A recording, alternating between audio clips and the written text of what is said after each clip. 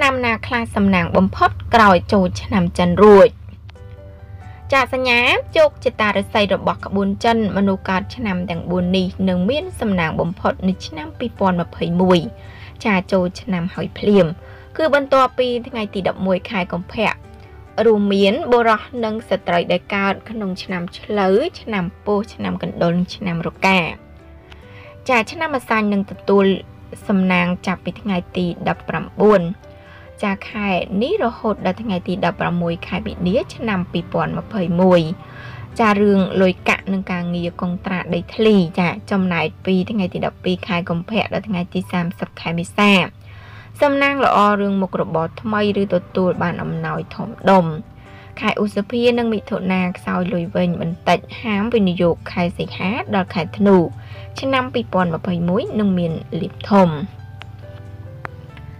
ឆ្នាំឆ្លូវត្រូវឆ្នោតបានរង្វាន់មានអ្នកសងលុយឡើងប្រាក់ខែនិងចាំមានចាប់ពីចុងខែមករានេះដល់ខែឧសភាចំណែកកក្កដានិងវិច្ឆិកាអាចមានលៀបរៀបការចាមនុស្សឆ្នាំរកាមានលៀបព្រោះញាតដឹងគុណនិងទទួលបានភោគផលពីកម្លាំងខ្លះពីសំណាងមេឃដីខ្លះ ល្អច្រើនក្នុងខែកុម្ភៈនិងតុលាមករាឆ្នាំ2021ចា3ខែនេះអាចបានកូនប្រសាឬមានការវិនិយោគត្រូវចំកន្លែងខ្លឹមបើជាមន្ត្រីនឹងមានតំណែងថ្មី ធ្លាក់មកដល់ដៃឥតព្រៀងទុកចាមនុស្សឆ្នាំជូតនៅខែមករានេះចាចាប់ផ្ដើមទទួលបានគេឈ្មោះរឿងការងារ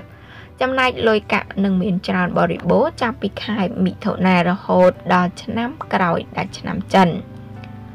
ចាហាម5ការសេពសុរានិងពាក្យប្រមាថនាំដាច់លៀបជ័យ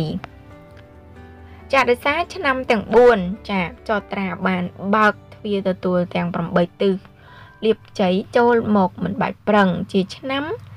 ចាអាចស្ងប់ចិត្តសមាធិភាវនាសាងអំពើល្អនឹងជួយអ្នកដទៃបានពិតប្រាកដមែនពុំយកឱកាសនេះទៅធ្វើទោសបំផ្លាញទ្វាចាក់ចាជោគជតារបស់ខ្លួន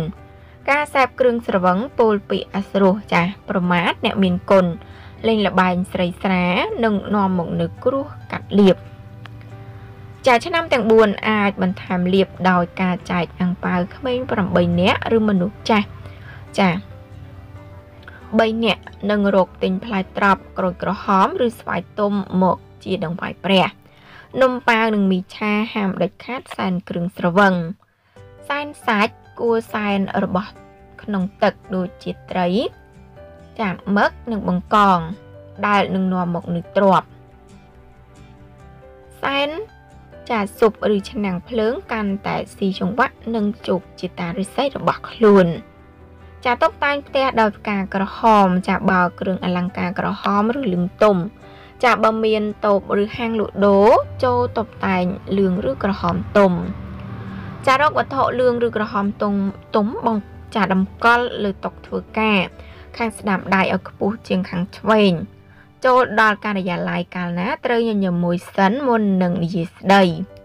ឆ្នាំទាំង4អាចប្រគល់កណ្ដុលកាត់ឆុងដល់អ្នកឆ្នាំផ្សេងផ្សេងបាន